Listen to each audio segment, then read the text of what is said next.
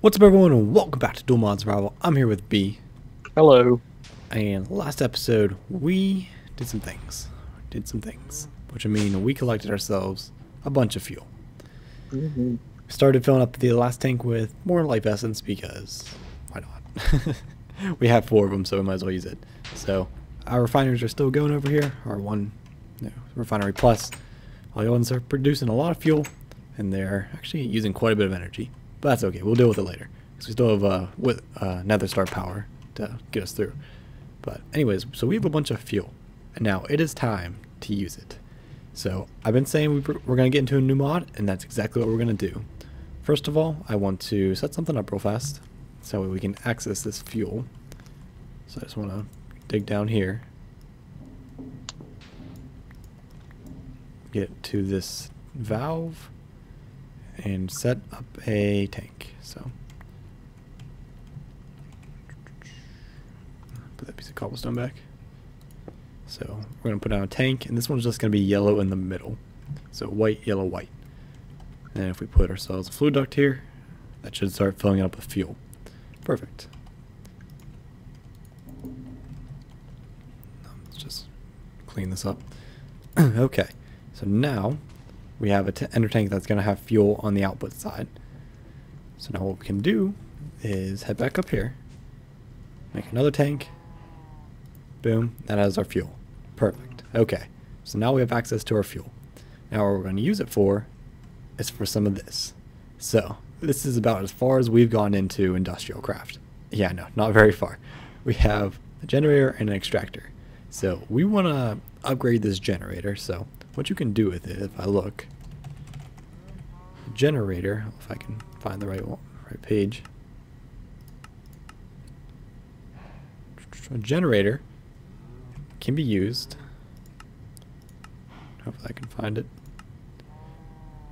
Can be used to make a, you know, a couple different generations, but the next tier would be like a geothermal generator, which uses lava, as you would guess. Then a geothermal generator can then be upgraded to make a semi-fluid generator, which is what we're going to use. So a semi-fluid generator can use fuel and produce EU. So EU is the power system in industrial craft, kind of similar to RF, it's its own thing. Uh, it mostly only works for industrial craft stuff. I believe it can work with mine Minefactory Reloaded blocks and I believe Buildcraft. So there is has some compatibility, but you know it's universal or RS becoming the more universal kind of power. So anyway, so in order to pick up industrial craft machines, we're gonna need a wrench. So an industrial craft wrench is just bronze. So hopefully we can make that pretty easily. Wrench, go. We need more bronze, of course. go. Should take just a second. So the only so the bad side or the downside to the wrench is that it's not a hundred percent chance that it doesn't even break it. It's like if I was just take a pickaxe to this and destroy one of these blocks, it would break it. And it would return a basic machine casing. Oop, if I could type. Basic machine casing, which is just iron, pretty much. So we want to you know, attempt our luck here. Uh, so yeah, oh no, we got it. Okay, so we got that one. Um, we'll leave that for now because we're going to use it. And we got the charcoal out of it. So now we want to throw that in. And we're probably just going to teach our system how to make all this stuff. So if we make semi-fluid generator, teach that in code. Iron item casing, I don't believe it knows how to do that. And code that. Then universal cell, which is 10 item casings, which it should know how to do. Geothermal generator, that's that right there. Um, did I do empty cell? No. Okay, so we don't know how to make empty cells yet. So that might be a problem. So we're going to need an extractor. Or an extruder. Or a metal former, I guess. Okay. Yeah, so we're going to want a metal former. That's fine. We can get one of those real fast. But we're also going to want to teach us how to make the generator, which is iron furnace. Hopefully I can get this to be three of the plates I want. Not those ones. Those one. There we go. Caught it. Uh, so one one good trick here is to always use a crafted battery for the recipes because it doesn't treat it the same way and it won't work like it won't tell itself to craft one. Uh, it's it's weird. So I mean get just get rid of it place another one in. There we go. So that's all you need for that. You gotta get an iron plate anyways?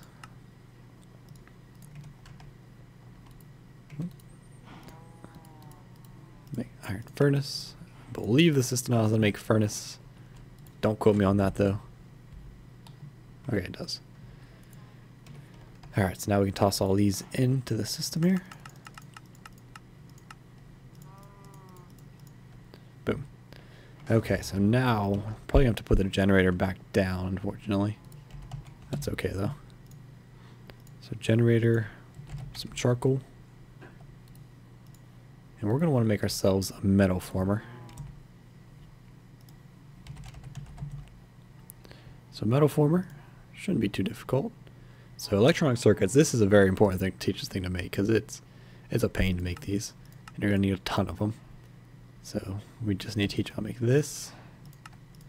Code. Uninsulated copper wire. Is that... Do we how to make copper plates? Nope. There was a better way to do this eventually. What using the metal former itself, so we may we may upgrade to that just because it we will fly through a lot of copper. I mean, when I say a lot, I mean a lot with these circuits. So we need to. Oh, didn't finish making the metal former. Alright, so we taught it that. I think it might not make the basic machine casing. Teach it that. Doesn't I'm sure it doesn't know how to do this. Code. Bronze plate. Tinker's alloy. Tinker's alloy, come on. There it is, okay. So I'm just gonna teach it how to make everything here. Because industrial craft has so many craftings that you need to do. And it's just it's just a ton better if you can just teach your system how to make all of it. So that should be everything there. So now if we request a metal former, did I teach it everything but the metal former? I think so. The struggle. Okay. Now, metal former, begin. So we can watch. Okay, so it did know how to make basic machine casing. It's fine, we can do that. And there you go. Now it should know. Just cooking up some bronze. And it's done. Okay, so now we got ourselves the metal former. So now metal former, yeah, it has quite a few things it can do. Let's put these back down, start making power. Now we are going to want to get ourselves the empty cells. Empty cells were tin plates in the extruding mode. So extruding mode is probably the most common that you'll use. So extruding, you can look at the recipes in here. So here's the extruding. You know, like as I was saying, you can make the uninsulated wiring here. So like copper, like you get, you'll get three of them per ingot here, you get two of them if you cut it into a plate and then snip it with the wire cutters. So definitely more efficient to do it this way. Yeah, so we'll probably set that up eventually. But now we need 10 plates. I think it was only two actually. Oh, well, actually, I think I'm gonna want three of these generators. Alright, and it will take a little bit of time, they're not the fastest, but they do have upgrades, which we will look into here quite soon.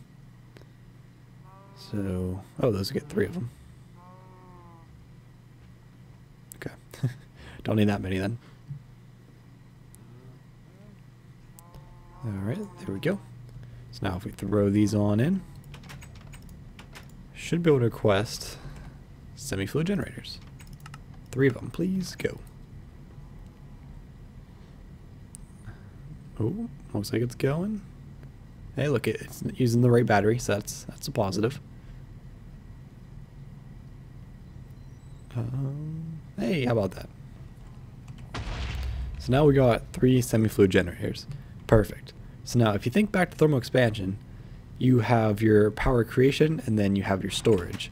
These are storage for thermal expansion.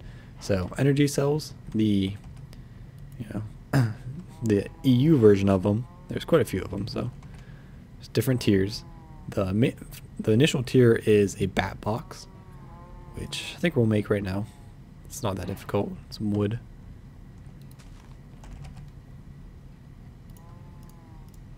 that. So that's what we'll make for now. We can obviously upgrade it if we want to.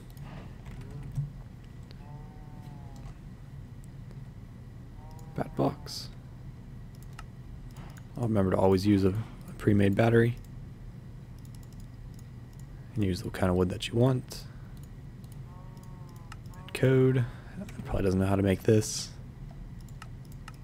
Code that. Uh, doesn't know how to make tin cable. Oh, it already does. Okay. So you're going to shift right click to clear that. I'll throw that back in. So now we should be able to request a bat, bat box. Go. Watching it and looks good. All right. It's a bat box. Okay. So now to look at thermal expansion again, we're going to need some of these, some of the transmission. So we need a way to transmit the power from block to block. Obviously, you can use this because the generator will transfer straight to the blocks touching it, which we did, but we want obviously a better way to do it. So we're going to want to get ourselves some cabling. So some cables, they tier as always. Uh, copper's pretty good. I think tin, or if I can find tin. Tin cabling 32 EU per tick, so it's not the best. I think we might just go with some copper for now. Gold's a little bit better. There's like HV and glass fiber, which is ridiculous. So I think we'll go with some copper cabling for now. So let's just get a little bit of this. As you can see, this uses quite a bit of rubber, so we will be handling that situation as, as well as soon as we get the chance. So now, we should be pretty set to go. So I'm going to... Gotta remember which way this bat box goes. You should you can rotate it though. I can't remember which side is which. Hmm. So I think I think that's the output, but I can't remember where the input is. One sec. Don't think it's underneath. And we'll try it. We'll just see, we'll see how it goes. So I pretty much want it to be... I want to face it this way. Oops. It's okay. Alright. So I want to face it that way. So then I can have... Uh, wiring running along the back here. Into all, every machine. So that's the plan. Now I'm hoping, hoping this works this way. So I'm going to run the wiring there. I'm going to place these generators on top of it. As so. Alright, and then I'm going to need some fluid ducts. Because we need to get the fuel into these Should be plenty. Let's just clear away some wall real fast.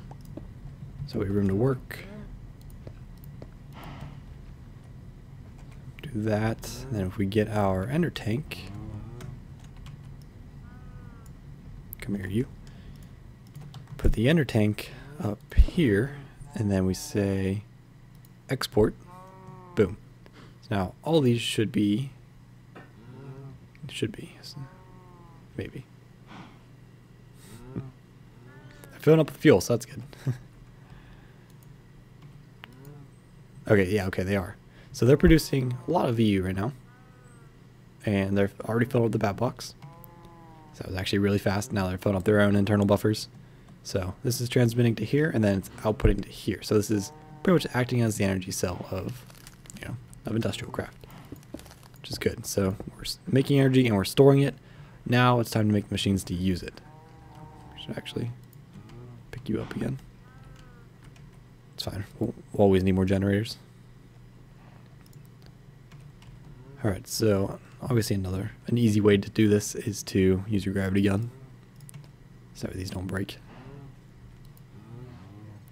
There's a little bit of bug though, so like it won't look normal, but I think once you relog or you restart the server, it fixes it.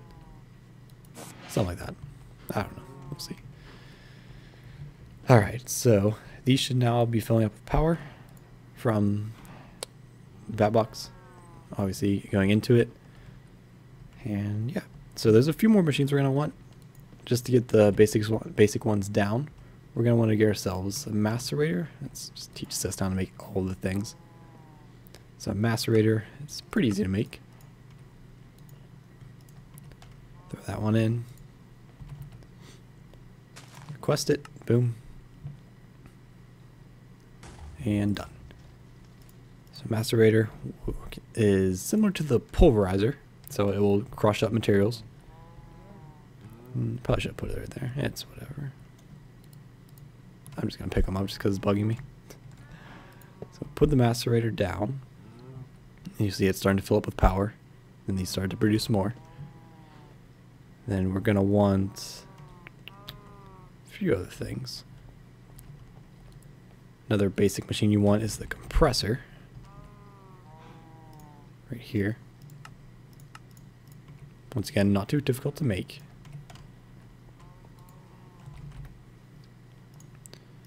Go ahead and craft that up. There we go. Compressor pretty much is the opposite of the macerator. So it has a few recipes where it uh, combines items back together. So like a brick, you could compress into four bricks, or you can compress them, or you can pulverize into four bricks, or you can compress them into a brick block. There's a few other recipes here that you can use it for one important one is the advanced alloy, which we'll be using to make some more advanced machines here relatively soon. And then like energy crystals we'll need. So yeah, there's a lot, quite a few cool things you can make with these. Let me just place down the rest of these machines as well. There we go. So we have a good line of machines. So I'm going to come back here in just a moment and we're gonna see if we're gonna be ready to start automating some of the production of some things that you can do in industrial craft. So we'll be back here in just a moment. Alright, so we don't have time to set up all the automation for all this yet, but there's actually like one more machine I want to make. It's a canning machine, not this one. There's actually two canning machines, which is kind of weird, but it is what it is. If I could find it. Right there, this canning machine. So code that, that's that'll do it for pretty much the low tier industrial craft machines. So craft one of those. There is the electric furnace, which is a furnace that runs on power, so pretty much your redstone furnace. But I don't think it's really necessary to have. There's a better one that we will be getting to, probably next episode. So boom. It's the canning machine. There's a few things you can do with this. There's one thing in particular that we will be doing, but I'll touch on that when we get there. For now I want to talk about the energy for industrial craft. So WAILA is very good at this and it's very helpful. So as I showed whenever I made the copper cabling, they can transmit, I think it was 132. No, 120, I'm sorry, 128 EU per tick. So these produce 32 EU per tick, so that's 96. So this can handle it. And then this bat box can, you know, input that amount I don't think there's a cap on the input, but it will only output 32 EU per tick. So that's across all these machines. So this one's using 2, as you can see at the power. This one's using 2, this one's using 2, this one's using 10, this one's using 4.